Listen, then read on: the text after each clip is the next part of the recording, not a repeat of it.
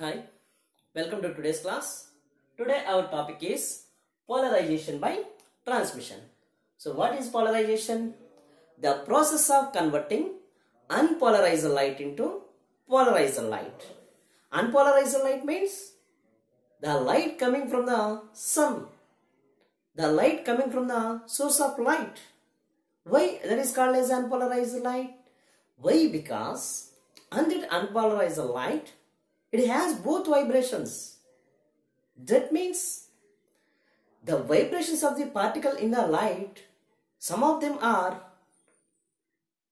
vibrating in a perpendicular direction and some of them are in horizontal to and from and now. Actually, the light consists of your particles are vibrating in the medium in all the directions.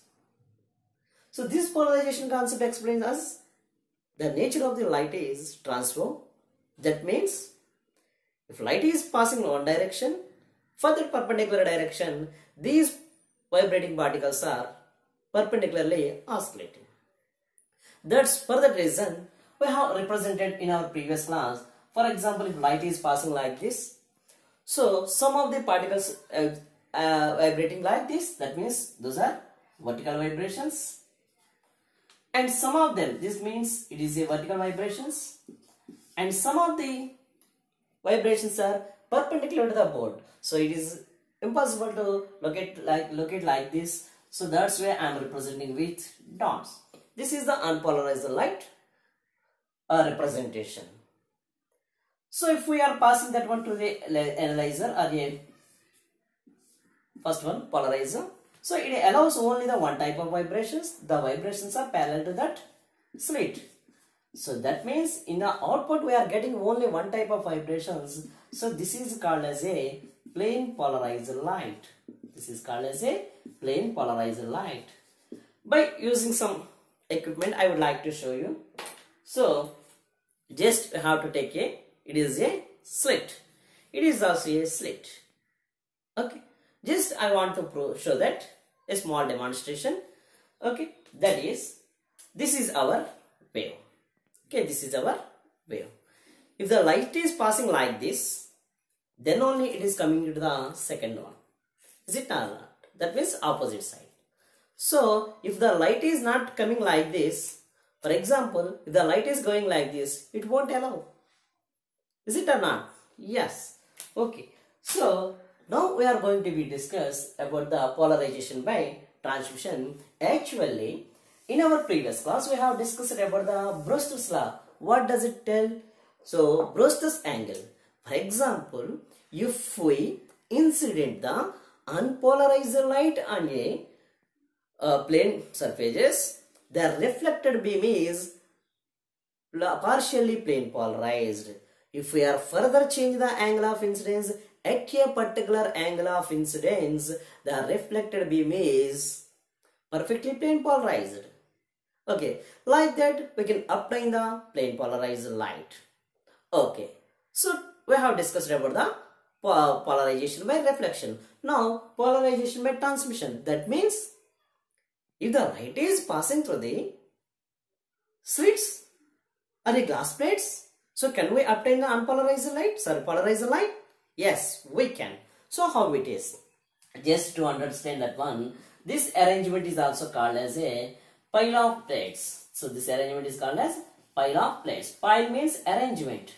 Arrangement of a plates. With how much angle we have to be arranged? Yeah, that is with the Brewster's angle.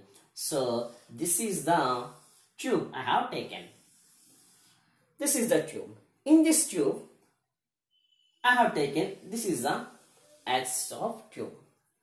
Here, I am taking a number of plates inclined with this angle is 57.5 degrees for a glass for a glass. So the angle of polarization is 57.5 degrees.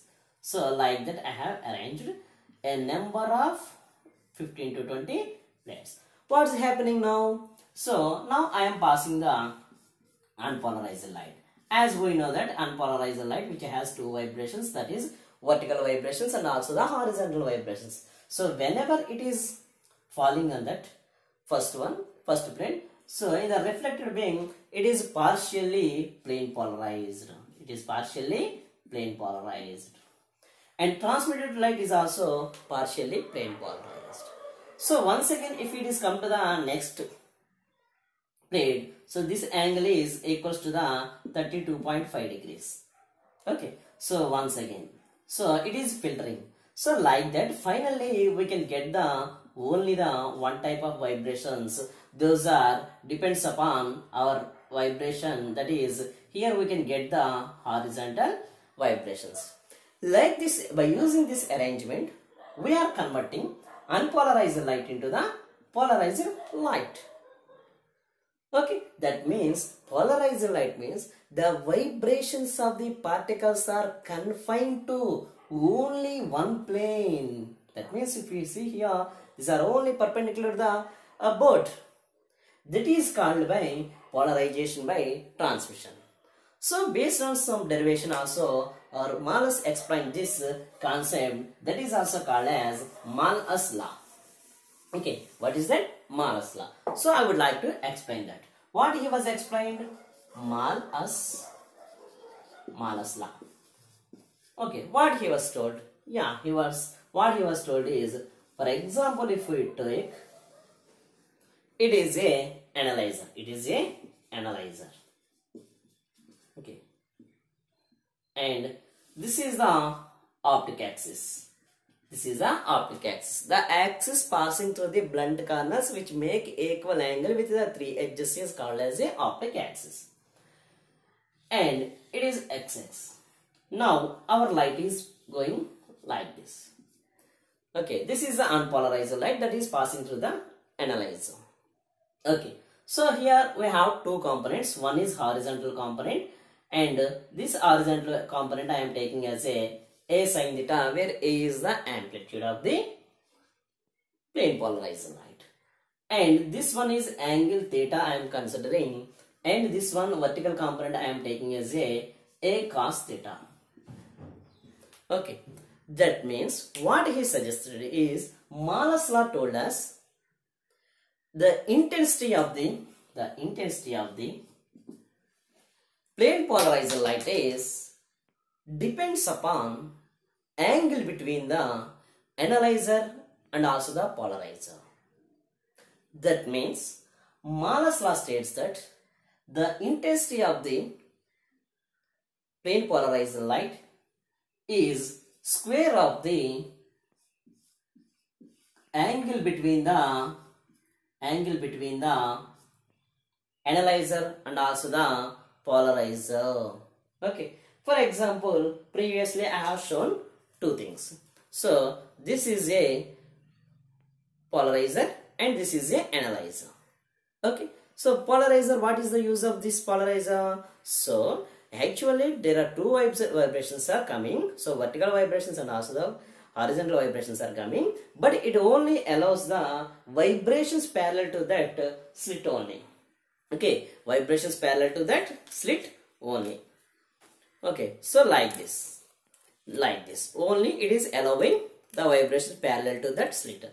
Now, what he is telling is the intensity of the analyzer. That means second slit is uh, analyzing whether the polarizer is allowing one type of vibrations or not.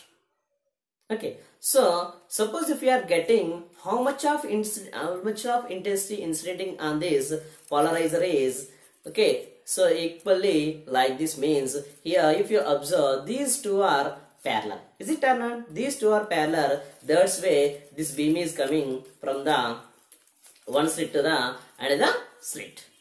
Okay. Now, if we take, okay, so intensity A equals to cos theta all square. That means, so the polarizer and analyzer, the angle between them is depends, uh, gives us intensity. For example, if you take I equals to theta equals to 0, theta equals to 0 means angle between, angle between analyzer and polarizer is 0. So then I naught equals to what we will get is I naught equals to a cos theta uh, square equals to cos uh, 0. How much? Cos 0 equals to 1. That's way I naught equals to a square. This is the ma maximum intensity. It is falling on our analyzer. Now, if the angle between those two is theta equals to 0 degrees, then the intensity on the analyzer I1 equals to I1 equals to a cos theta whole square that equals to theta equals to 0 theta equals to 0 means so cos 0 equals to 1 therefore a square that equals to I naught. That means how much of intensity is allowing the polarizer, that much of intensity we are getting after the analyzer also. Why? Because those two slits are parallel to each other. That's way all the, the total intensity of the light is perfectly allowing the analyzer. For example, okay, if the angle between those two is not 0 degrees, that is changing that means, for example, if you are seeing like this, so you are changing the second slit is like this. That means it is a analyzer. It is a analyzer. If you are rotating like this, it is allowing only the vibrations parallel to that. But you are rotating this one. Will it uh, allow? No. So whenever it is both are perpendicular, so whatever the light passing through the polarizer, it won't pass through the analyzer.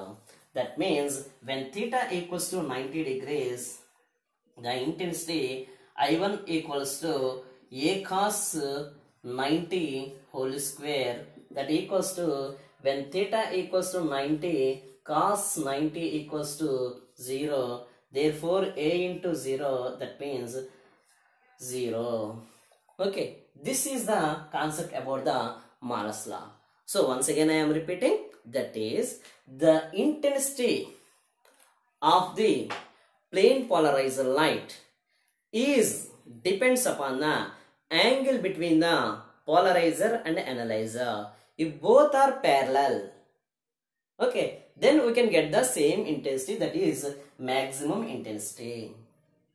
If if we are rotating the analyzer, the intensity is varies when both two are perpendicular, so we can't get any intensity that is zero. If you understand, uh, please give me a like and share. Thank you. Thank you for your patience. Thank